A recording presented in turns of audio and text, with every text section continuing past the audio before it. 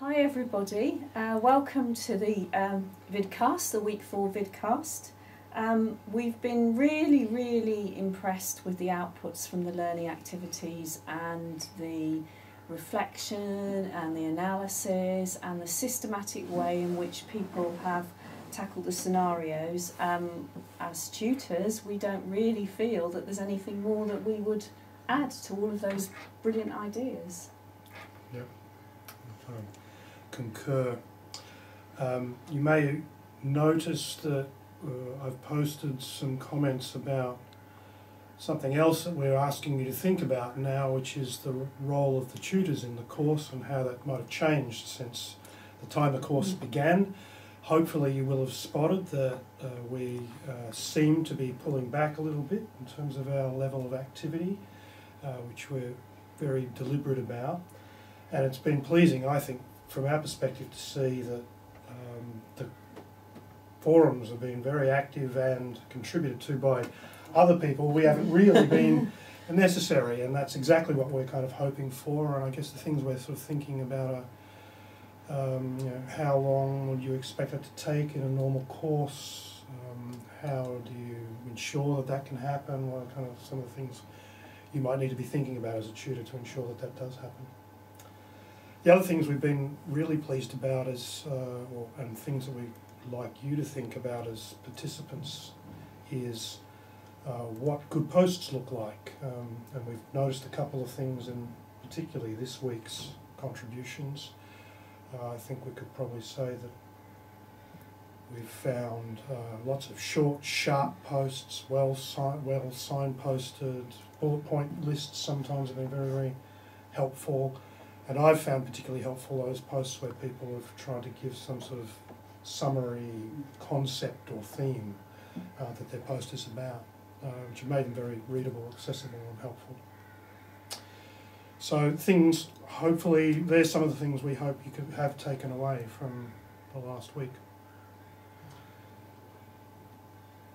Um, we were going to talk about the plenary discussion as well. Oh, that's right, yeah. Because it links forward to what we're talking about in week six. Um, you'll, you'll kind of notice that we uh, are always looking at the end of a week's activities for how the outputs from those activities might be either repurposed or um, presented back or made use of.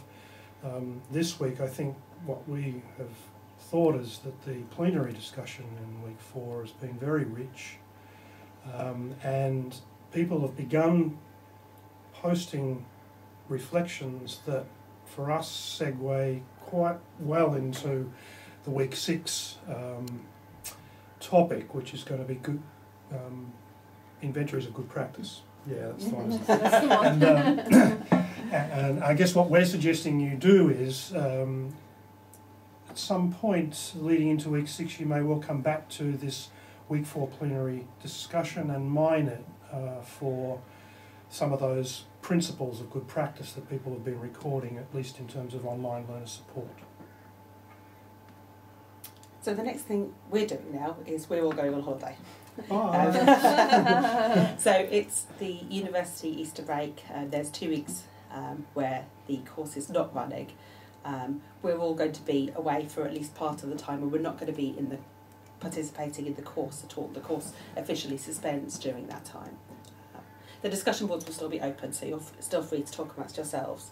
And of course, we encourage you to use some of that time to maybe catch up on the readings that you didn't get a chance to do earlier, um, to start preparing for your assignment if you're doing it.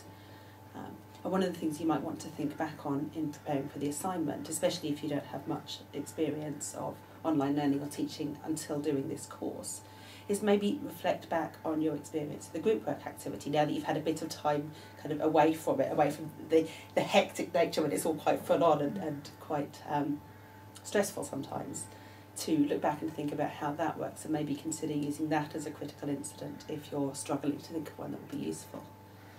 Um, the other thing that you can think about doing over the Easter break um, is to start preparing for um, kind of linking together all of the other things you've been thinking as the course goes on um, and thinking about how the course has been going in general because we're going to ask you after the break to start thinking about that and I think Marion's going to tell us a bit about how that's going in a minute.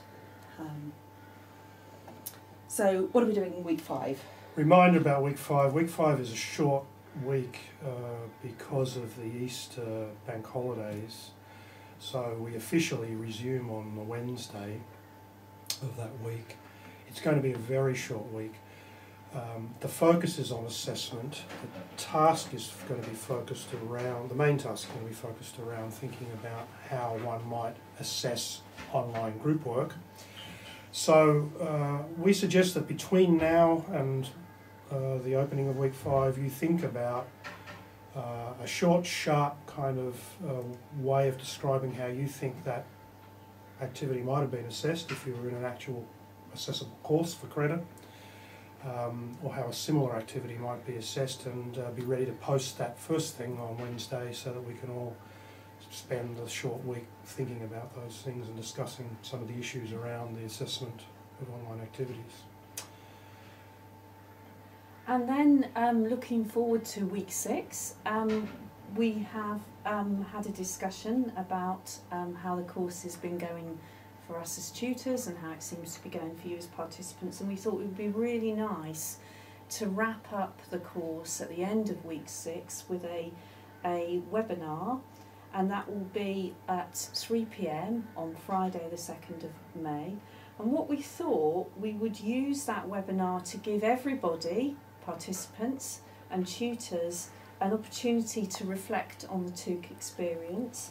So what we'll be doing will be, as we did in the icebreaker activity at, in induction week, what we'll be doing is setting up um, a shared Google slide area.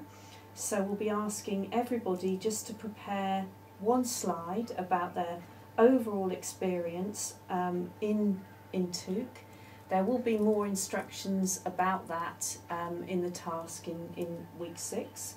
And um, we'll come to the webinar, be, prepared to discuss your slide. Um, and just one more reminder, if you're doing the course for assessment, your deadline to get formative feedback on your assignment is it's the 2nd of May, which is the same day as the webinar. So if you want feedback in advance of your final formative um, final summative submission, email Greg your um, your initial thoughts or your draft or whatever before then. Um, as early as possible really is good. If you have something in a position that you'd like feedback on now, you can send it in now and he'll get back to you with something helpful. Yeah. Um, have a good Easter break. Try not to work too hard um, and think of us going off on holiday. Bye-bye. Bye. Bye.